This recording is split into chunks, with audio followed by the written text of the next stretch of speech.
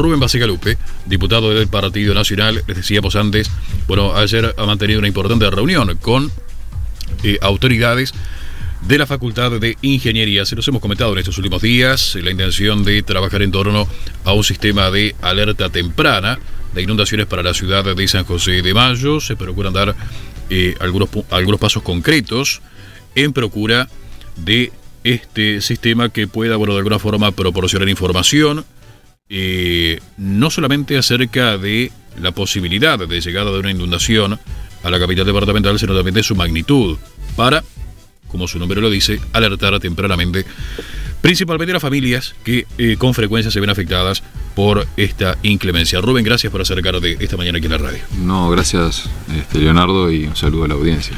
Bueno, ¿qué evaluación se hace? ¿Qué evaluación de este contacto que fue con la propia decana de la facultad? Eh, sí, realmente quedamos muy conformes porque si bien ya habíamos estado hace un año atrás aproximadamente con autoridades de la, de la Facultad de Ingeniería, que no estuvo presente en ese momento la decana, porque obviamente que hubo autoridades, eh, y ellos ya habían tenido una buena disposición, nosotros en ese momento fuimos a hablar de la posibilidad del dragado del río, y en esa instancia se nos sugirieron cuatro posibilidades para, bueno, para hacer algunas intervenciones. Entre ellas este sistema de, alerta temprana que con lo que tenemos hoy de la Facultad de Ciencias, que va a hacer un estudio del río, convenio con la Intendencia de San José, la posible intervención que puede hacer el Ministerio de Transporte y Obras Públicas sobre eh, una limpieza que estaría realizando en parte del río, seguramente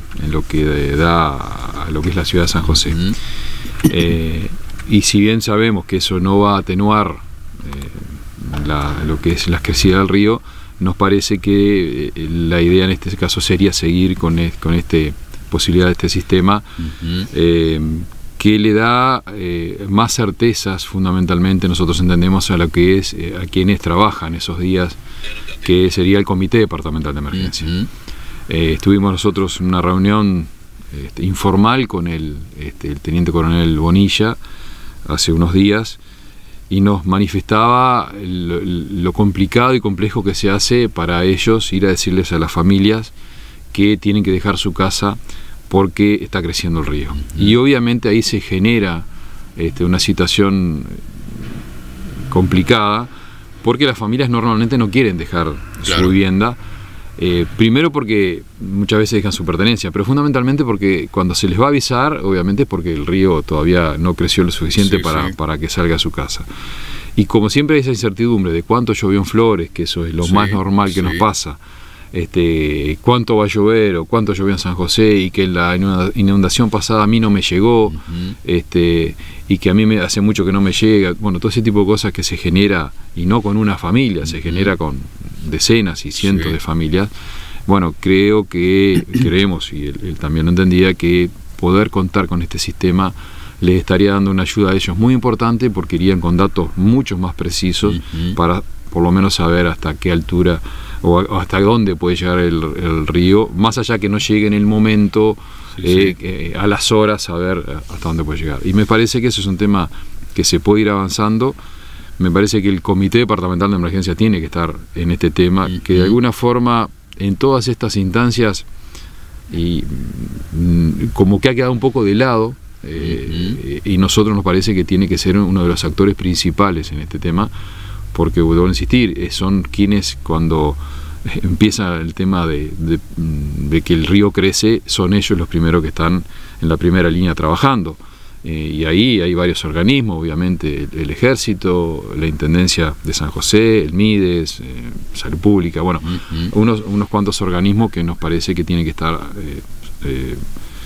este, al tanto de todo lo, que se está haciendo por parte de bueno, nosotros como diputados, pero otros actores también que están trabajando en el tema, que nos parece importante. Pero el Comité Departamental de Emergencia me parece que es eh, tiene que estar al tanto y, nos parece también que serían que ellos quienes tendrían que estar eh, con este tema, avanzar con la, facultad para poder este, ver si podemos llegar a, tener este sistema en San José, que ya se está utilizando en mm. Durazno con el río En todo caso, lo que quedó pautado fue una reunión entre ambas partes. Nosotros quedamos. bueno, nosotros lo que vamos a hacer este, es eh, mañana pedir una reunión al intendente, que es en definitiva el principal del Comité Departamental de Emergencia, porque así, así la ley lo, exige.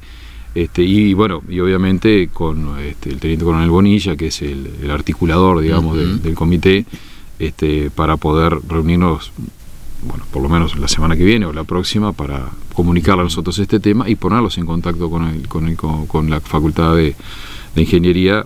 Bueno, insistir que nos parece que, que es un tema muy importante porque si bien no soluciona, por lo menos sí avisa con tiempo y que después no tener la situación que la gente cuando va a sacar sus cosas ya no las puede sacar o las empieza a sacar con el agua adentro. Entonces nos parece que, es importante poder contar con este sistema. Y vas a decir que en definitiva, digamos, es algo que se utiliza, digamos, ya en otros puntos del país. Ahora, ¿en qué consiste concretamente?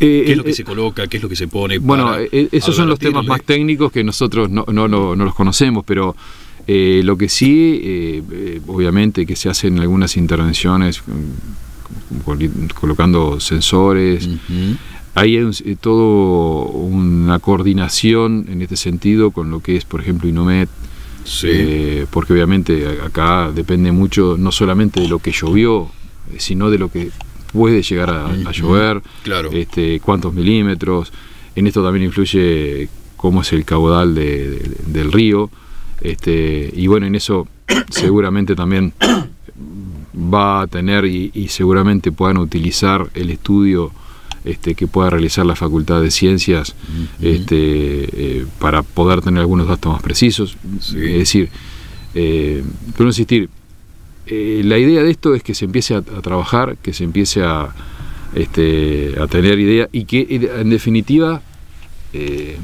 todos conozcamos cómo funciona el sistema. Y si se entiende que eh, esto puede aportar, eh, poder seguir adelante, y bueno, obviamente este, también puede tener un costo, que en ese sentido también se nos ha dicho por parte de las autoridades de, la facultad que a veces este dinero se consigue este, con este, organismos internacionales y que, o, bueno, con organismos nacionales que se presenta un proyecto y a veces estos proyectos este, tienen, estamos, no estamos hablando de costos extraordinarios, pero bueno, algún costo puede tener.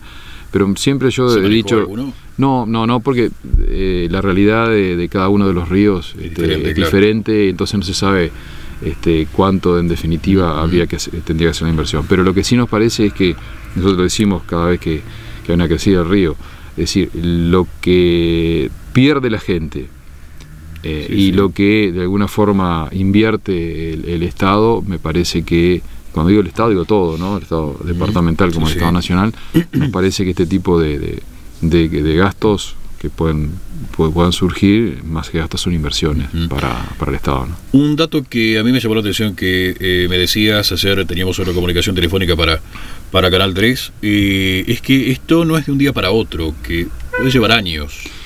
El, tema eh, es que... Lo que te pregunto es entonces, ¿en qué medida, digamos, puede resultar algo viable antes que otras acciones eh, o antes que otras medidas tendientes a, a solucionar definitivamente eh, bueno, si hay algo, este asunto? Bueno, pero a ver, si hay algo que nosotros hemos constatado en todo este tiempo es que ninguna medida que se pueda tomar va a frenar el tema de, las crecidas del río.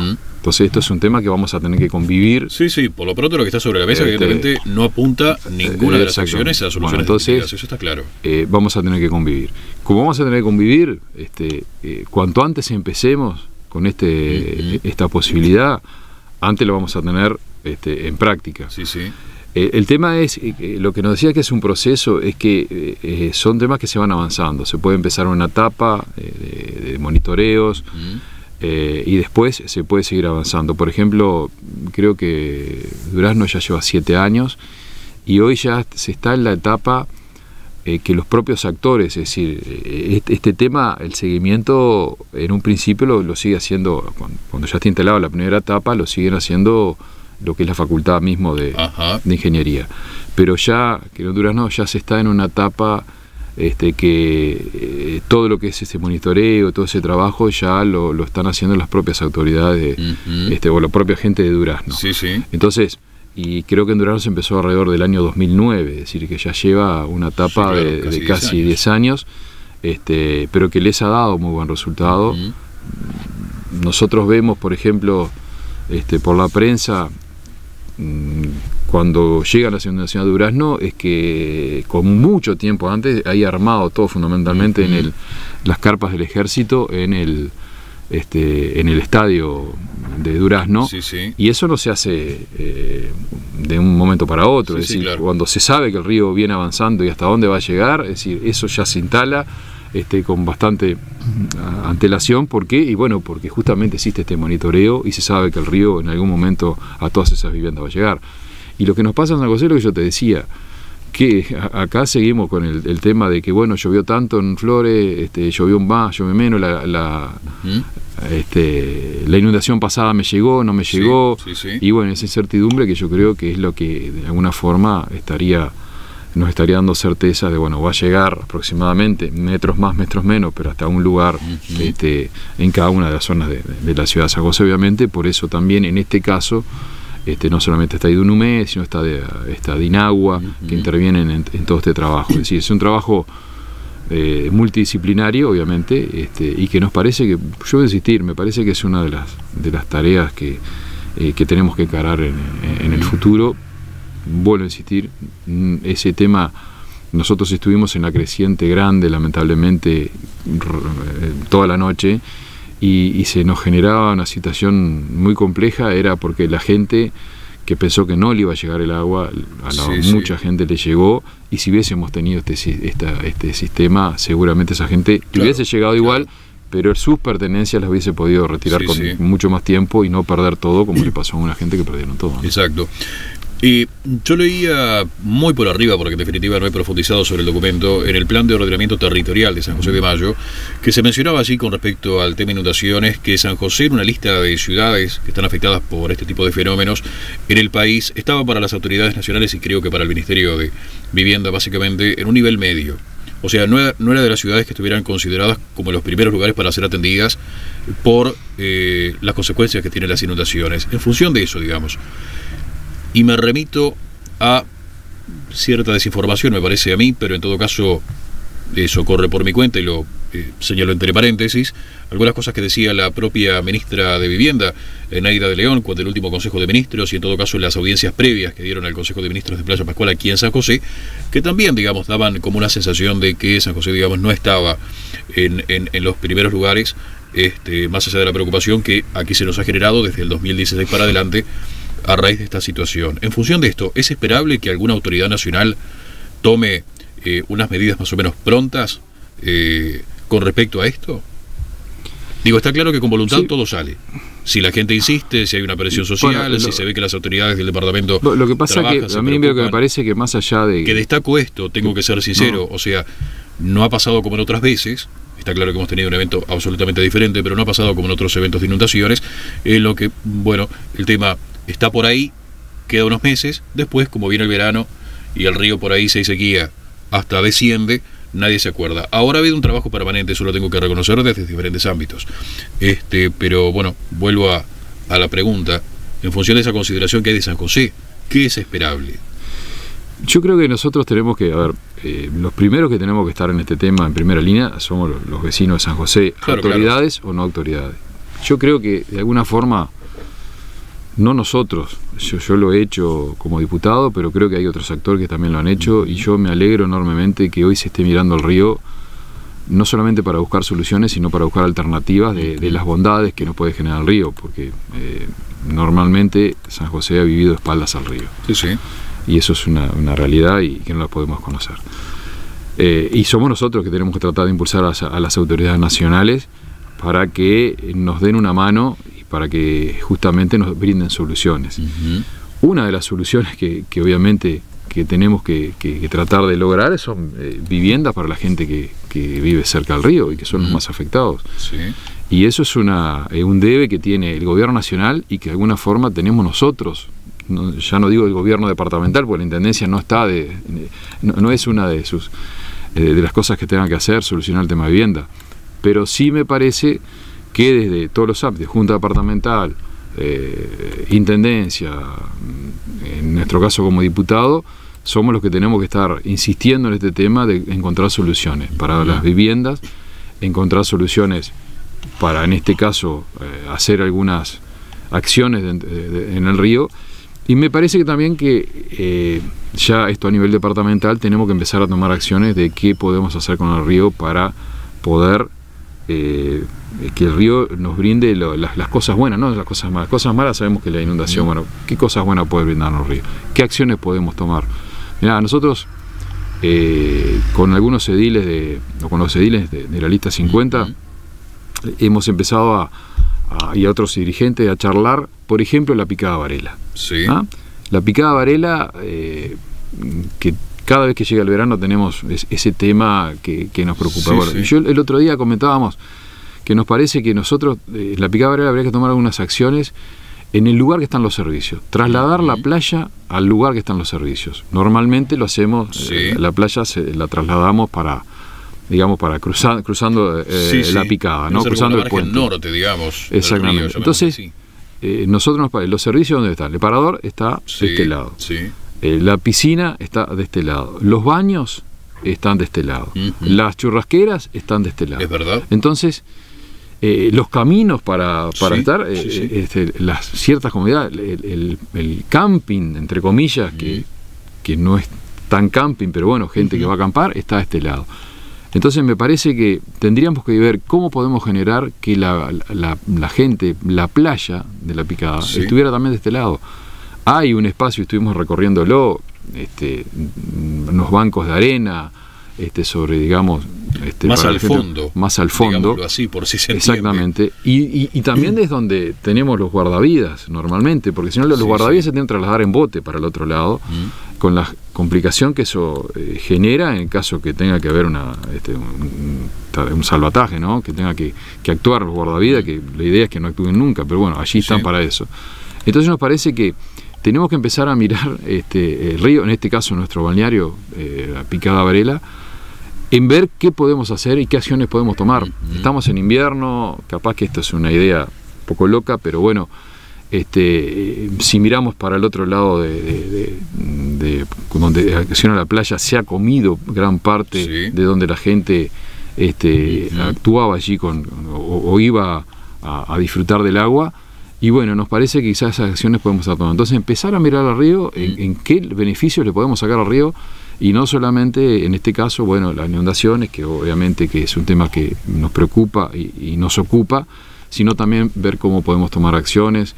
Eh, hoy hay, eh, vuelvo a insistir, creo que una preocupación importante por parte de muchos actores, el cual nos alegra, pero me parece que también que nos falta este, también ver qué bondades.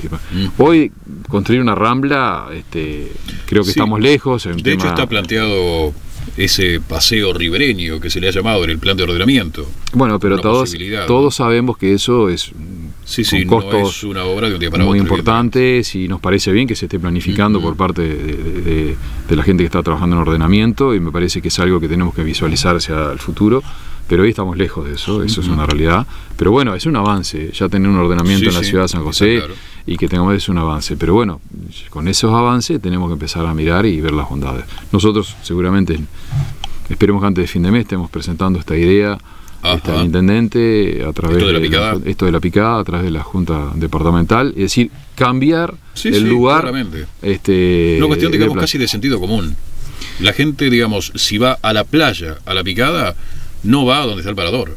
Exactamente. Va al otro lado. Va al otro lado. Y bueno, nosotros creemos que tenemos que tratar de generar eh, eh, este lado donde está el parador, que tiene los servicios para que la gente se va a instalar ahí. Obviamente, ahí donde van a tener que estar los guardavidas, Este, cambiar un poco la, idea. Pero me parece que es, un, es algo, una idea este, que estamos tratando de terminar para, para poder este, presentarla. Quizás haya que hacer algunas acciones. Nosotros eso se lo comentamos a la, a la gente de la Facultad de Ingeniería y ellos también tienen este, un, grupo de, este, en la facultad que, puede darnos una mano en ese sentido. Este, eh, en ese tema también quedamos de avanzar. No es el tema principal por lo que fuimos. Sí, sí, está claro, está, claro.